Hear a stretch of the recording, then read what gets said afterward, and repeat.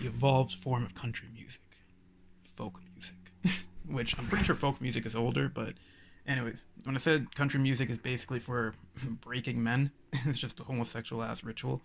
Tran- um, transsexual music is basically like on the uh, I want to say tribal or whatever level.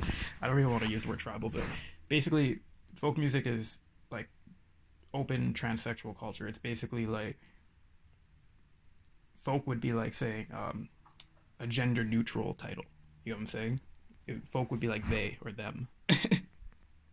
so a good way to describe folk is the Eldritch Terrors. If you've seen that Sabrina show and you've seen the people at the end who are like part of the Eldritch Terrors and stuff, or if you've seen Doctor Sleep, those people in the carnival that go around traveling and stuff like that. Um, that weird European fairy shit.